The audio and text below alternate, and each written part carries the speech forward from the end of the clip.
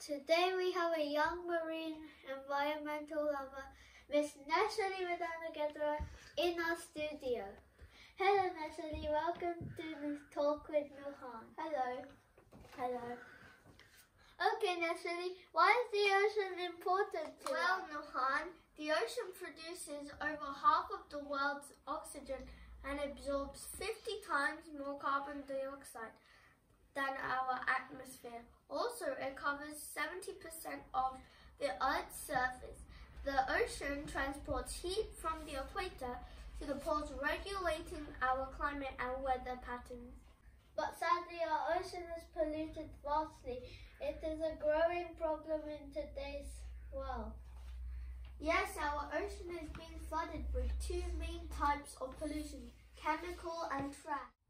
How does this type of pollution occur? It occurs because of the human activities, notably to use of fertilizers on farms, lead to the runoff of chemicals into water into waterways that ultimately flow into the ocean.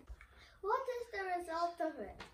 This pollution results in damage to the environment, to the health of all organisms. How can we stop this? By recycling, reducing plastic, cleaning rivers and beach, spreading our good work to protect oceans as well as the environment as a whole.